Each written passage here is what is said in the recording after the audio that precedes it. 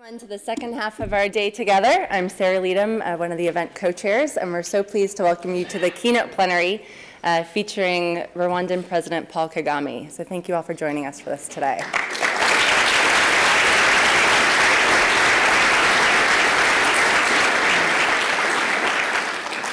As you've already had time to meet together in small sessions and dive a little bit deeper into some of the pressing topics that are facing doing business in Rwanda, today's session in this group will focus a little bit more on one country that has done extremely well in focusing on how to really create open opportunity for people to do business and for those business indicators to, and at the end run, um, support people moving out of poverty and to grow positive education and other positive economic indicators.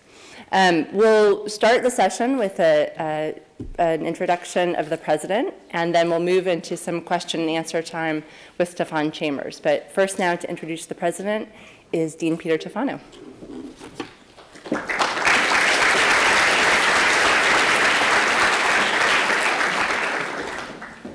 So welcome again. Uh, Paul Kagame needs little introduction. Um, you're all here because he's here. Um, but for just a little bit of background, President Kagame has served as president of Rwanda since 2000. He was chosen as uh, in the first democratic elections in 2003 and reelected in 2010. Uh, as a president, uh, President Kagame has prioritized national development and has been widely lauded for his, for his work around economic stability. Um, recently, here at Oxford, we had the resource conference in July. President Clinton of America was here and had hailed President Kagame as one of the world's greatest leaders of our time. Tony Blair uh, has called him a visionary leader, and Howard Schultz, chief executive of Starbucks, has persuaded by his persuasion to invest there. A cornerstone of uh, Kagame's recent leadership is Vision 2020, a plan set to move the nation to a middle income country by 2020. Pillars of this plan include good governance, advancing a knowledge-based economy and private sector development, developing infrastructure, and spurring national-oriented national-oriented agriculture. In the most review, in the most recent review of the plan's progress, it's ahead of its goals. But instead of stopping at those goals, uh, the Rwandan government has lifted the bar and set higher standards for its economic programs. It's these initiatives that we're looking forward to hearing more about today. And as I said, as many of you may have been present, or some of you may have been fortunate to be present at the resource conference hosted by the Oxford Smith School for Enterprise and the Environment last year, when President Kagame discussed challenges of food security. Today we're going to discuss not food security, but rather economic security and economic growth. We're delighted to have President Kagame to return here to Oxford and to come for the first time, I believe, to the Said Business School. Mr. President, thank you so much.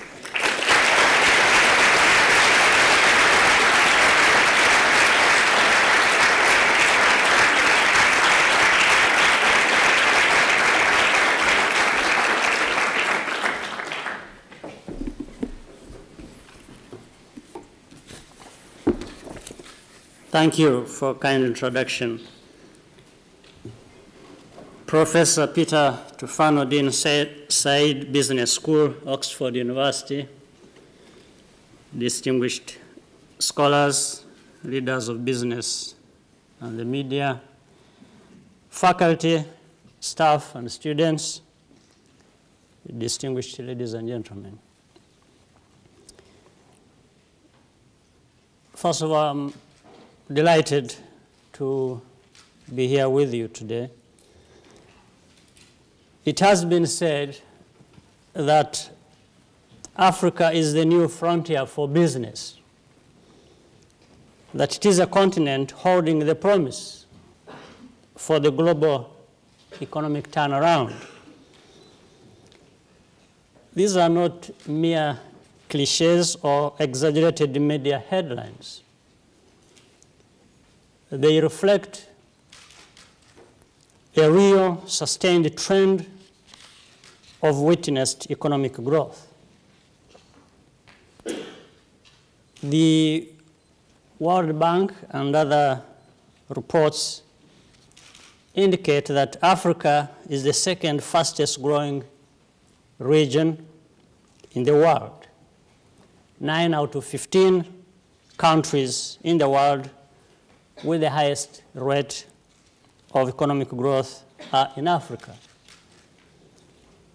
And despite worldwide economic slowdown, African economies have averaged growth rates of 5% over the last 10 years.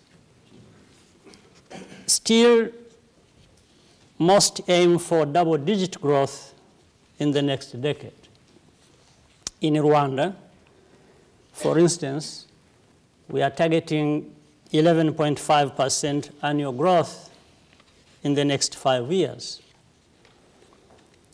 And according to recent surveys, 27 African countries have already reached middle income status, and by 2025, that number would have risen to 40. However, there is no shortage of skeptics where Africa is concerned who think this growth cannot last. Equally, there are many who are convinced by the evidence that it will last. Among these are those Africans who are driving it and who are resolved to maintain the momentum.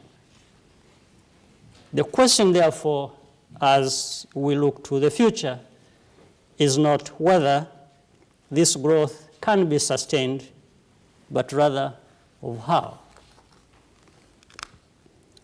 To a large degree, the current growth is driven by structural changes within African countries, which means it can and will last. There is increasing political stability and better governance across Africa. Many countries have undertaken reforms that ensure macroeconomic stability and create a better climate for business. In my own country, Rwanda, it takes only six hours to register a business. Indeed, according to Foreign Policy Magazine's 2013 Business line, Baseline Profitability Index, Rwanda is the fifth best investment destination in the world. The evidence has also demonstrated that it is not just the resource-rich countries that are witnesses unprecedented growth. The latest figures from Ernst & Young, Young's Africa Attractiveness Survey 2013 indicate that while in the last 10 years, Africa's GDP has tripled, natural resources contributed less than 20% and services nearly 60%. This is partly explained by an increasing shift from dependency on commodities alone to include services and manufacturing as well as growing intra-African and South-South trade and investment. Our countries have also taken deliberate steps to invest in areas that are most sustainable. It's people.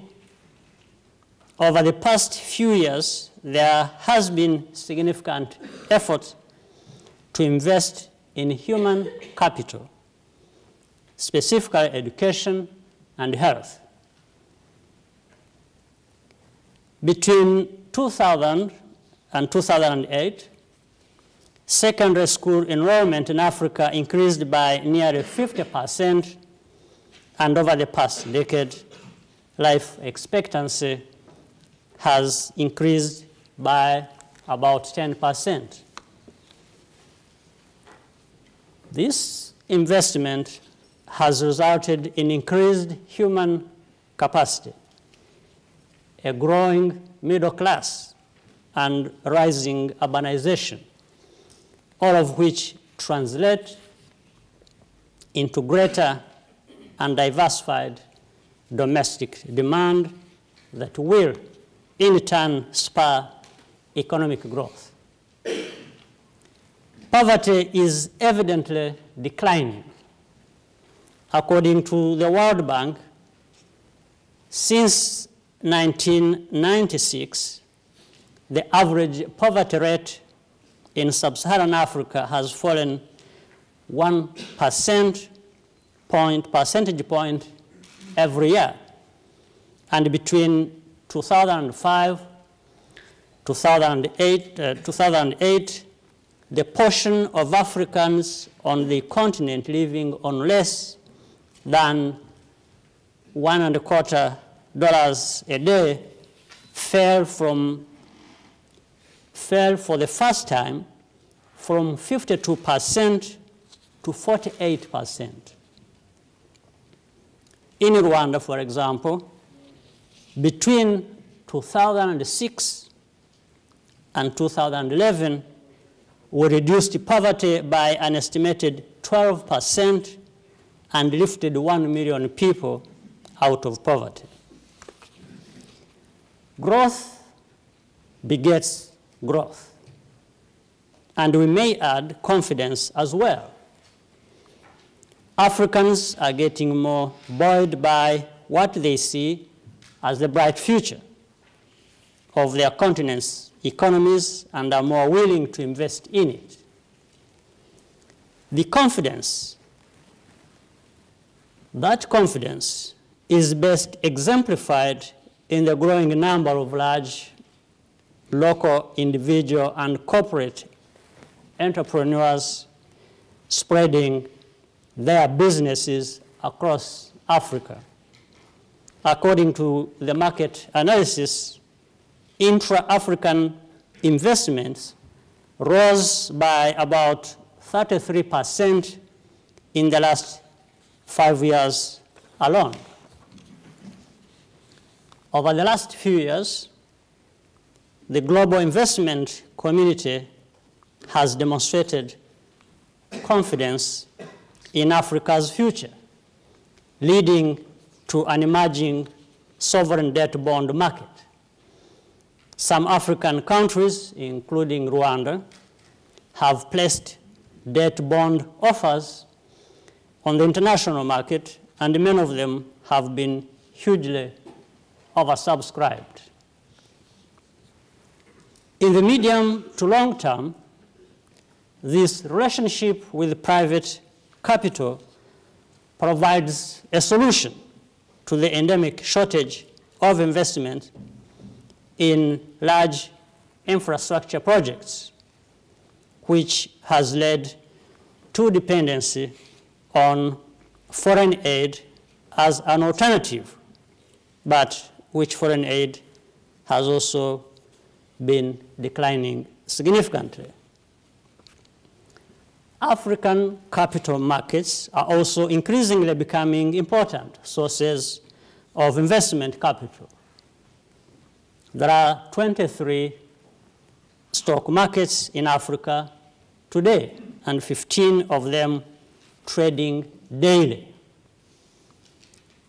Distinguished ladies and gentlemen, I have dwelt on Africa's transformation and potential because I have witnessed firsthand in Rwanda where we started from a very low base to reach where we are now. Other African countries have experienced similar economic transformation. Much more can be done because Africa still has a lot of untapped potential. However, challenges that may impede our growth potential still exist and must be addressed.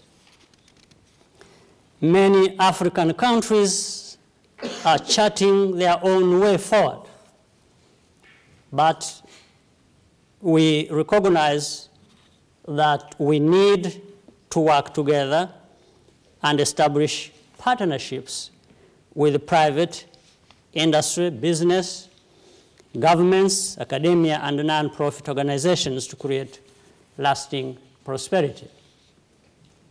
In the global economy, knowledge is a key driver of growth and development.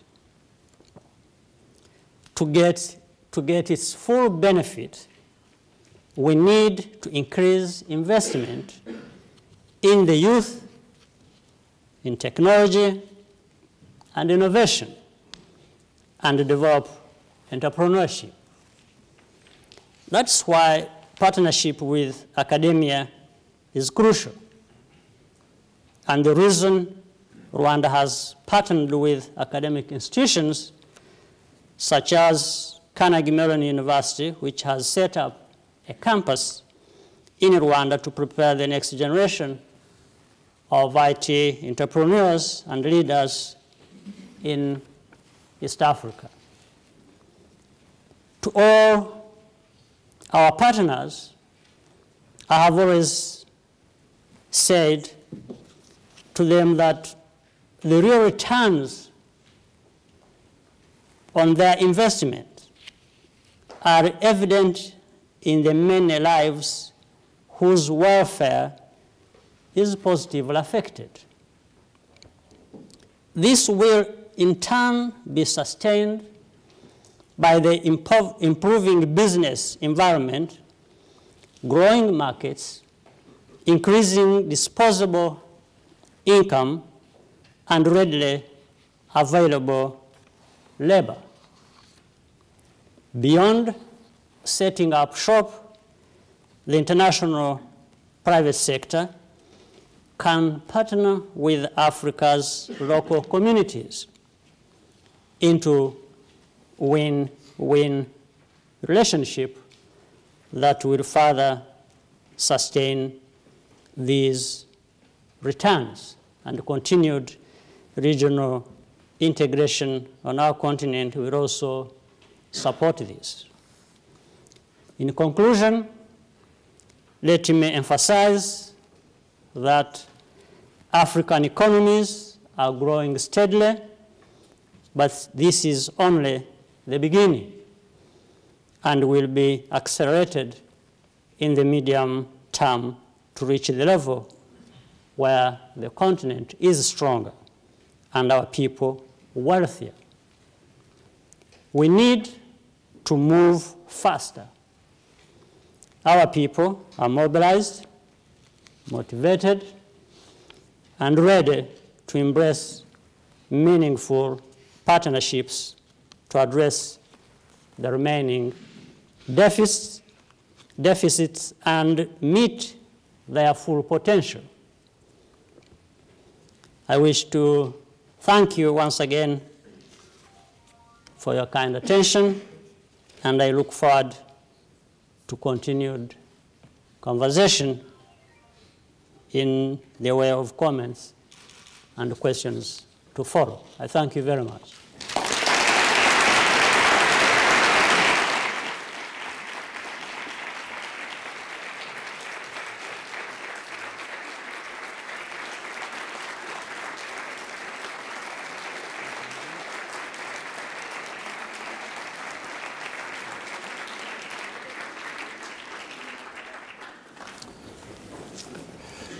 Mr. President, um, thank you and welcome. Um, forgive me for about three seconds while I remind our audience, please, to switch off their telephones, video cameras, recording devices, telescopes, anything else you might have uh, in the room. Um, welcome and thank you for coming to the Said Business School and thank you in particular for agreeing to answer our questions.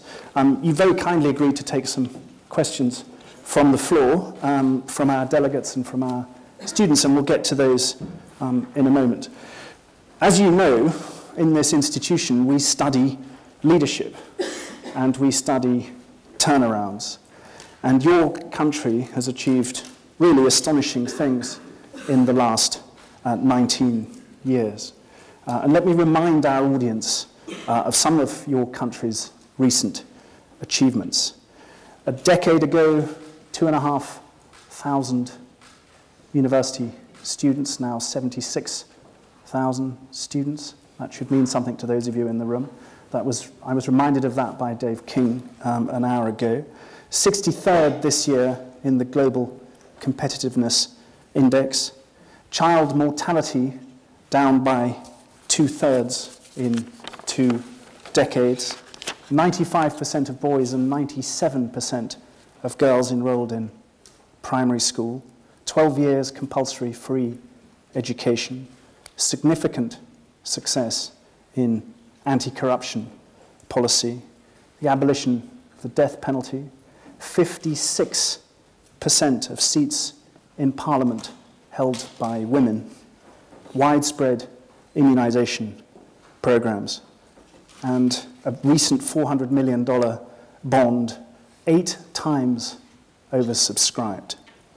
Okay? Those are real turnarounds, real leaderly achievements.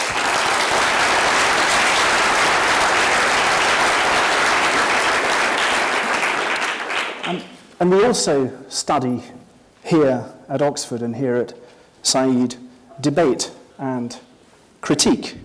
And as you know better than I, you have critics, and they focus on what they see as your authoritarian style. They focus on relations with the DRC. Aid from countries, including our own here in the UK, was suspended last year, and several multilateral agencies are directly critical of your leadership. Mr. President, how do you answer those who worry that growth at the levels that you've achieved and against the regional backdrop you inherit is simply antithetical to a completely fully fledged human rights agenda? Well, this is, uh, well, I'm glad you, you, you start with the stories that are, or the story that is backed by numbers and facts. So let me put that aside. Let's go to the other side of the critics, which is largely subjective and not backed by numbers and facts. It's an issue of interpretation. It's an issue of where you come from. But I'll be helped here to explain by saying if you really look at the real numbers and facts that have evidence for being real and expressed by the people of Rwanda, and then you look at the criticisms also made on the other side about us. First of all, they don't add up you, you can't be having this good story first in the first place, backed by evidence and facts and by people of Rwanda. And we also have this other side being true. This is my start, my starting line of, of argument. So it's Second, not possible for both facts to be true at the same time? I, I don't think so. Okay. Yes. Because whatever we talk about, whether it is human rights, whether it is democracy, it's about the type of governance, and so it's about people, isn't it? And the people of Rwanda have told you that story, the positive side of the story, which you have already stated. If you're talking about participation of women, even in decision making or in parliament, 56%, the highest in the world. Well, you have these democracies that have zero participation of women. Is that democratic? I argue that democracy is about people and is about involvement of people. Does providing education, basic education, for 12 years, including everybody in education, providing education and health care, covering over 90% of the population, is it anti-democracy? Is it authoritarian? If you're providing food security for your people and enabling people to feed themselves, and they are empowered to do that, how can that be against human rights or democracy? So those who say, those, those who answer your question by saying Yes. it is authoritarian Yes. or it is undemocratic, is it that they're not in possession of the right facts? Is it that they have an agenda that, that is misguided? What, I think what have- motivates those critics? They have a confused agenda. Yes. Okay. Put them I, I don't even understand it because, and my main focus is about whether I'm delivering for what people of Rwanda hired me to do. Right? And if the people of Rwanda are saying we are happy with what we are getting from you as a person we hired to lead us, then I will not even bother about the critics. By the way, these critics, let me tell you, are mainly coming from outside, not from inside. I'll come back to I'll come back to that You- point you in a minute. Well, so, let, so let's so, so let's let's, Yes, let's go to outside Rwanda. One of the things that will fascinate this audience, I suspect, is whether you, as the architect of this extraordinary extraordinary turnaround, believe that there's a prescription for other countries on the continent for pulling off what, what Paul Collier, who's sitting down there, calls the, the hat trick of triple growth, poverty reduction, and inequality reduction. What are the lessons for, for the other 53, 52 countries?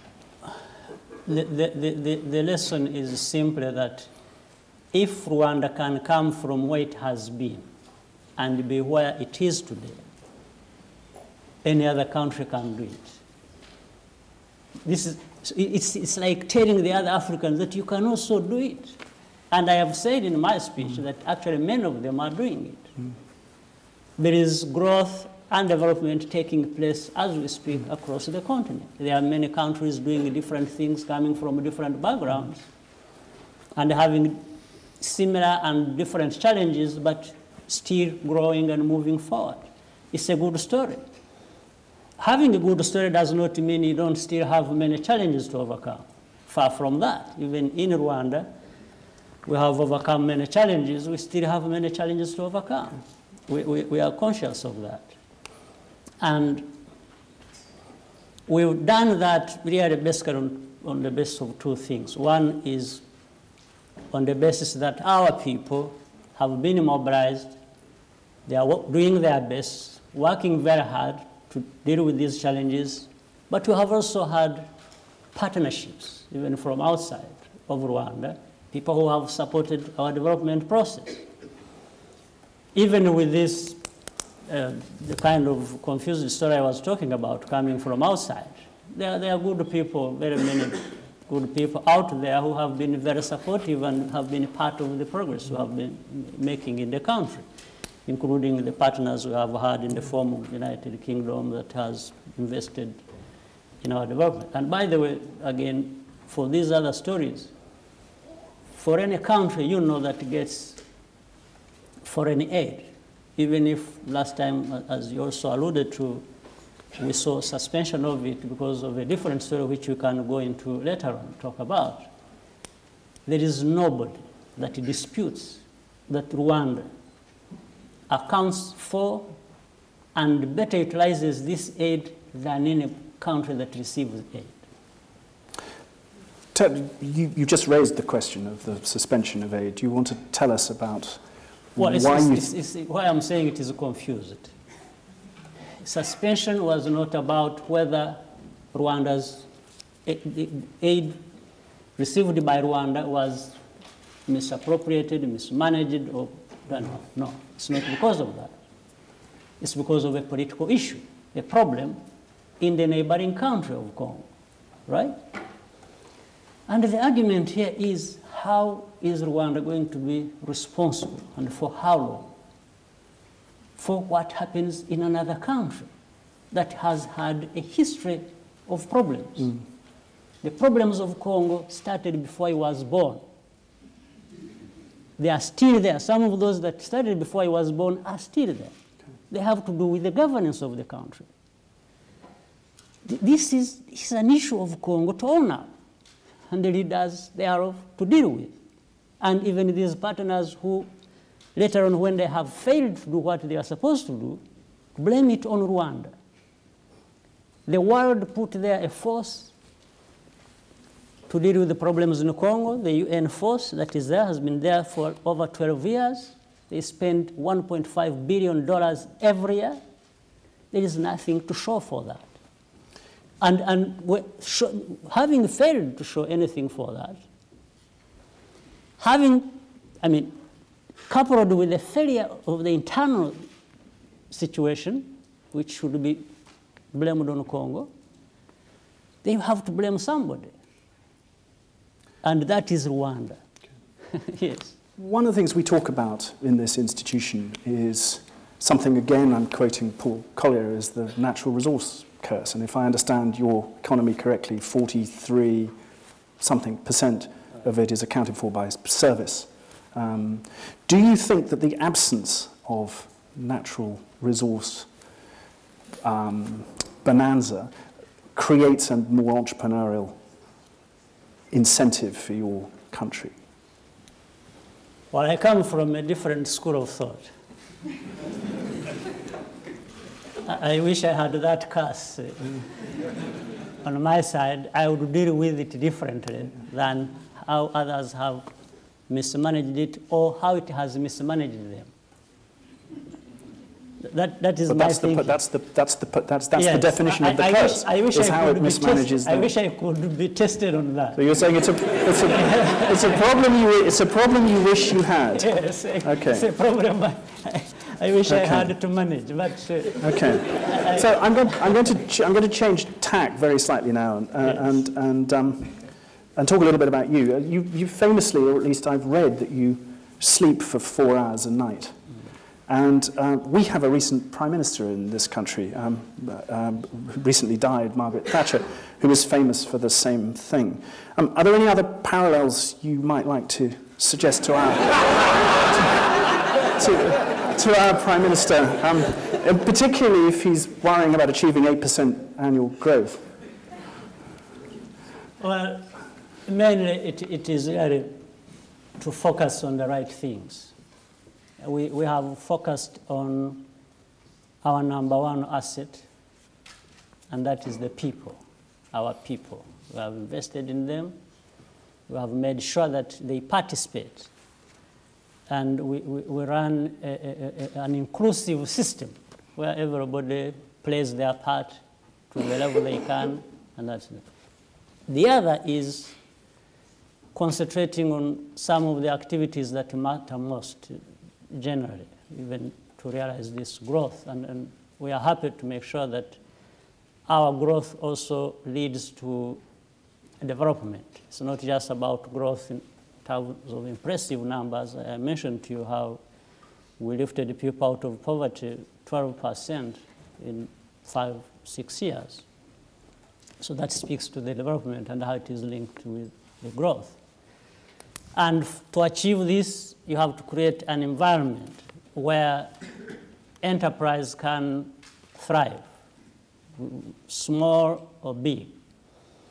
And, and we have focused on private uh, enterprise. We, we have brought in the citizens to make sure that they can do trade and do the kinds of savings and investments that can be attained. So maybe from that one can draw some other parallel, uh, I guess.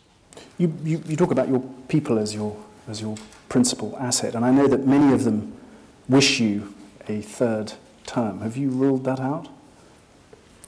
I haven't even been bothered with it so far myself. It's actually many people around inside of the country and outside for different reasons. Some think it's a good thing if, if I, I stayed on, actually quite many. There are others who think I should, or, or, or others even who think I shouldn't have been there in the first place. so we, we, we, we, deal with all of those, but uh, I think uh, so that's a, that's a not, not sure yet answer. It's not a, not a sure yet. It's, it's just I have to deal with okay. priorities as, as, as, they are. I, I, don't have to worry about what is coming in four years' time before I'm worried about what is coming the next day. Okay. Um, just before we open questions to the floor, I'd like to ask you, Mr. President, one last question. You're, you're, you're very famous for resisting the creation of African identity by non-Africans. You're, you're very famous for writing that Africa's history is written by others. Do you think we're anywhere near close to moving beyond that and to creating a more balanced view, in part through events like this, in part through growth, through economic cooperation, in part through partnerships? Well, we have a proverb in, in, in, part, in our part of the world, but I, I just shorten it to say, you know, it's better things should start uh, at home. Even for cattle keepers like me, they say before you go so far away to look for good pasture, you, you first deal with what is around your homestead. So I, I don't see how Africa or Rwanda should be defined from so far away rather than starting with what you can do uh, back at home. Not only theoretical definition, but the practical one of things we do and must do to, to improve our lives. And do you think that events like this are helping or, or not necessarily? We, like which ones? Like the one we're in today? It is very helpful. It, it, it, it links, you see, that in fact, even with the arguments that we get involved in, we are not talking about, again, if you notice in the same speeches that I make, including, you know, speaking out on not being defined from outside, you also find in the same breath that I talk about partnerships. I'm uh, for partnerships. Uh, so trying to define yourself does not preclude partnership.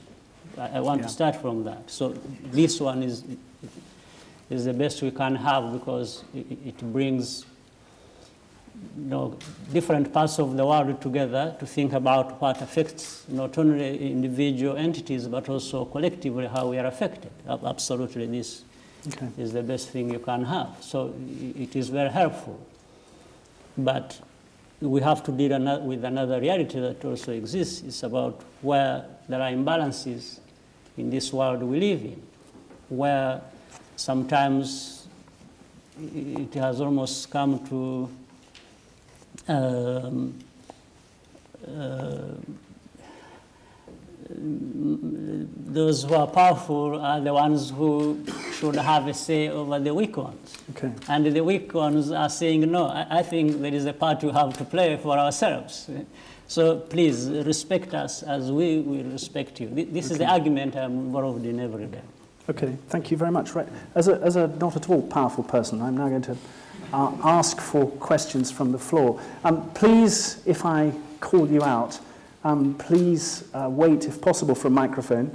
Tell us who you are, and above all, please keep your question brief and in the form of a question. Okay. First person, right up there, right next to the microphone. Thank you very much. Thank you very much for your very impassioned um, presentation. Um, it's good to see um, a very charismatic leader. Um, I agree with all your strides as you articulated.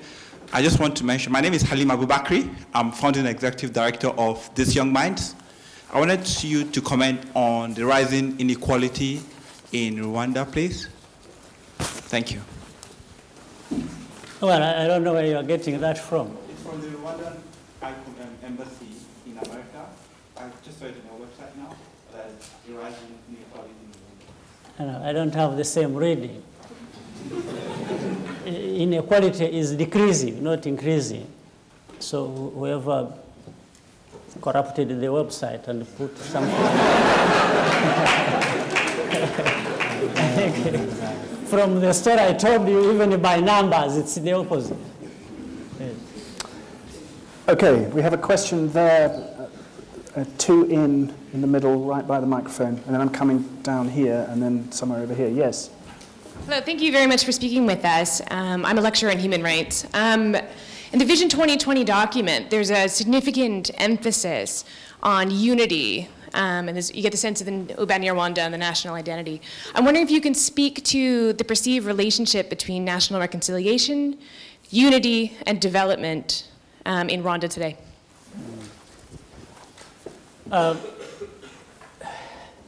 What we do in Rwanda, even within our, our, vision as stipulated, is, is informed and shaped by our history and experiences thereof. It's not so long ago we lost one million people. We had a genocide. That was not just a mere disaster that happened, it- it was politically motivated and driven. It has a long history, even linking with the colonial situation. So we are therefore informed by that to say, look, let's do two things. One, we have to deal with the situation as we have it, that it demands justice and reconciliation at the same time. Normally, these two tend to conflict, where you have to cut out justice and make sure people are held accountable. At the same time, you, you want also to try and bring them closer together. So there is a kind of conflict, and we have to manage that. At the same time, we also are saying, look, we, we, we, in our society, like in other societies, we may have, be different from one another. But the diversity in our society should not be only a source of problems, should be a source of solutions to our problems. So, in other words, let's, let's bring the country together. Let Rwandans feel as Rwandans first and foremost. They can feel their whatever else they are afterwards. And even in being proud and of and feeling that you are different from the other, this should not be a source for any conflict. It's rather that one may complement the other in the differences they have. So this is how we've been approaching it. So we run, uh, on one hand, justice, on the other, reconciliation, then unity that will bring the country together to make sure that we, we, we move forward together, uh, uh, as well as the, the, the kinds of differences we have within our society being recognized. In the middle here. Yeah. Hi. Um, you mentioned earlier that youth is very important for development, and obviously education is important for the youth to uh, develop. But in my experience of schools in Rwanda visiting, um, the change of language of tuition from French to English uh, seemed to make it very dif- difficult for teachers to do their job, given the speed of the change and the um, and so they would, the teachers would struggle to catch up with the language, and as a result, they, would struggle with the teaching, and children would struggle to learn. Um, suggesting that while teachers learn English, there's going to be some kind of lost generation. Um, I just wonder, in light of all of the positive facts that you've given us uh, so far today, um, whether this might count as a mistake, and whether there might be other facts uh, that could prompt concern about Rwanda's development, um, which you or others could learn from. Thanks. Well, so far, I say a couple of things here. So far, most of the things we have done, even under very difficult circumstances, uh, have been bearing results, good results for us. Second is, as I said, we have started from a very low base, almost on everything. And we have been dealing with difficult situations anyway, for, for, given where we are coming from. So, not that we expected anything to be easy for us. And even in education, again, as I said, we are informed by our own situation. We have not shied away uh, from making the right investments, even where things initially are very difficult, but as long as we're able to see at the other end of the tunnel that there are, there are i- increased or, or, or significant uh, benefits. So the change in terms of languages was, was deliberate. It's- it's- it wasn't accidental. And we knew the, the challenges that were involved. but I'll give, tell you how we, for example, overcame them. Doing different other things. In, in reforms, say, of our immigration, in the increased integration in our region, the kind of situation we have created in Rwanda has seen people come to Rwanda to work there, actually to fill that gap, even in terms of teaching English in our schools and so on. We have many Kenyans, Ugandans, Tanzanians coming to work in Rwanda, and this is what we want. On one hand, we are filling the gaps and we have in, in the skills area and, and, and knowledge but by having people coming to work for us as we train our own people. And uh, English has linked us with more, by the, we're also members of the Commonwealth now.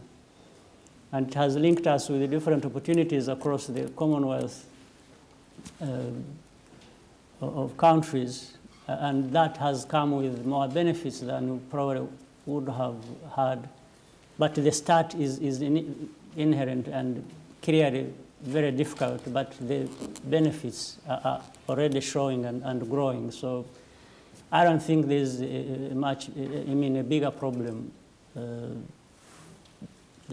than really we envisage to deal with. Would you have done anything differently? I don't know, because what I'm doing is correct, so I think.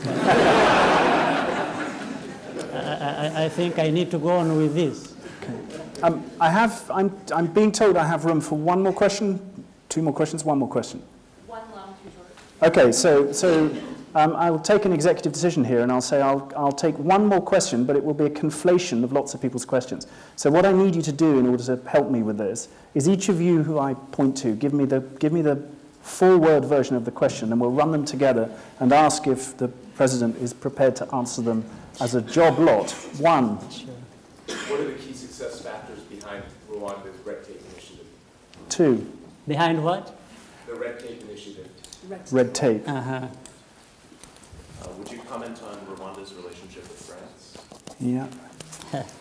how, would you, how would you characterize the leadership style? Sorry? How would you characterize the leadership style? Uh-huh. And yes, woman, um, blue. Rwandan diaspora. The role of Rwandan diaspora. Okay. Right, I'm afraid that I will be in big trouble if I take any more questions under the one question heading. So, Mr. President, we have one final question. uh, and it comes in four parts. The first part is, might you be able to comment on the red tape initiative? Yeah. The second part is, might you comment on um, Rwanda's relationship with France? Yes. The third part is, might you comment on your own leadership style? Uh-huh. And the fourth part, I can't read my own writing. What? The, the, the Rwandan diaspora. Yes. yes. Wow. Uh, anyway, I always face these difficulties. So, red tape, we, we deal with the red tape uh, uh, by way of, um, first we have concentrated on building institutions and, and being able to also hold them accountable and be demanding of, of uh, you know, the process to evaluate and see where we are from, where we have come from, and where we, we are going. And, and so we, we, there is a drive mainly, I would say this time, from the top, but more invested in the institutions and making sure that accountability cuts across and, and we make sure that if we have given ourselves the targets, we want to measure how far we are towards that target, and somebody should be updating uh, every other responsible person how far we have gone. So that has tended to deal with the problem, and that's how we also fight with, uh, we have the fight against corruption and it's through accountability and making sure that things are transparent and people can be brought in to monitor what is happening. Relationship with France uh, is better than it was a couple of years ago. Uh, where that was uh, is another story. But I think sometimes when uh, no news is good news. So there is, there is not much in terms of crisis as we have experienced in the past. So we, we there is a potential that we can improve it and, and move forward. But there is certainly a very bad history that goes back 19, 20 years from now. Uh, so, and our aim is always to try and overcome or, or, or do away with some of these uh, uh, bad relationships we have had with the people. So that, that's the answer to that. My leadership style, I, I wish somebody else had to define it, but uh, I, I, I, believe in, um, first of all, I, I, I take responsibility for what I have to take responsibility for. Well, today I'm, I'm president of my country. Before I became president, I was something else, and or maybe if I hadn't become president, I would have become been doing something else. But I take what I'm doing seriously. As one. Secondly, it's not just me. It's also other people you, you, you work with or you serve. That is, in this case, the people. So I have always make sure that there is a connection between my, the responsibilities I have to carry out and uh, those I serve in carrying out these responsibilities. But something that may be controversial or raises questions or, or whatever, which I'm happy to, to take responsibility for, is that I demand accountability. I give it my all to make sure that I'm doing what uh, uh, I'm supposed to be doing and do it the best way, or even accept to be criticized or be held responsible for what I am supposed to do. But I also hold responsible those others I'm responsible for and make sure that we are doing the right thing and doing it the right way. So if that says anything, I, I don't know, then we, from there you can add your own observations. Rwandan diaspora, in fact, this, this evening I have a meeting with uh, thousands of uh, Rwandans in, in, town. Yes, I think about, they're coming close to 3,000 now, I'm told. And they're mainly those ones based here in the UK, but some others from other European countries have also come over and going to meet with them. And it is really built on our desire to make sure that Rwandans are involved in what is happening in the country, not only those who are in the country, but those who are outside, whether they are students or people doing different things uh, wherever they are. We want to bring them to be part of the development of the country and, and to feel that they've been given their, their, their rightful place and role to play uh, if they so wish. And, and we have seen a very good response anyway, so the, the Rwandan uh, the Rwandans living outside of Rwanda have a huge role to play. We recognize that, and we want to make sure they, they really do that. President Kagame, thank you very much for answering our question. Thank you, sir. Please, please stay here.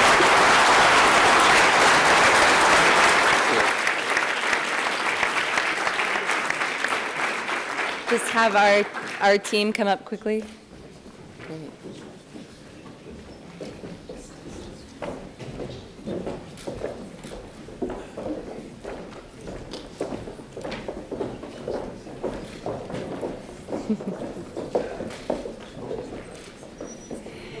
So standing with us now on the, on the dais today is the uh, student group that organized this conference. This is the Africa OBN. And on behalf of the entire Africa OBN, we would like to present you with the first inaugural distinction of honor for African growth. And as a, as a community, we took into consideration all of the facts that were presented, which many of you heard. Um, but as students, we're here taught daily about strategy, about operations, about execution, about maintaining metrics and focusing on goals. And in looking at the story of Rwanda, we've seen all of the lessons that we've learned as business students come to bear in the tremendous success that we've seen in Rwanda. Um, and we believe passionately that this is the right time to recognize President Kagame for the tremendous work that he's done on behalf of his people. So on behalf of the Oxford Africa OBN, um, please accept this and thank you so much for joining us today.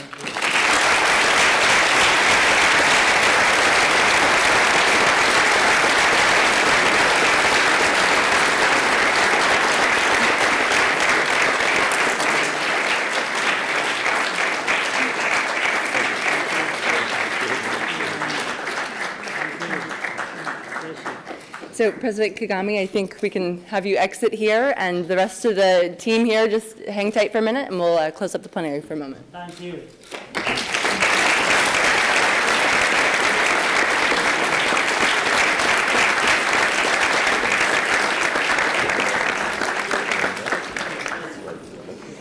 Um, so in a few minutes, we're going to go ahead and break. Um, there should be sort of afternoon coffee waiting for you to get you through the rest of the afternoon sessions.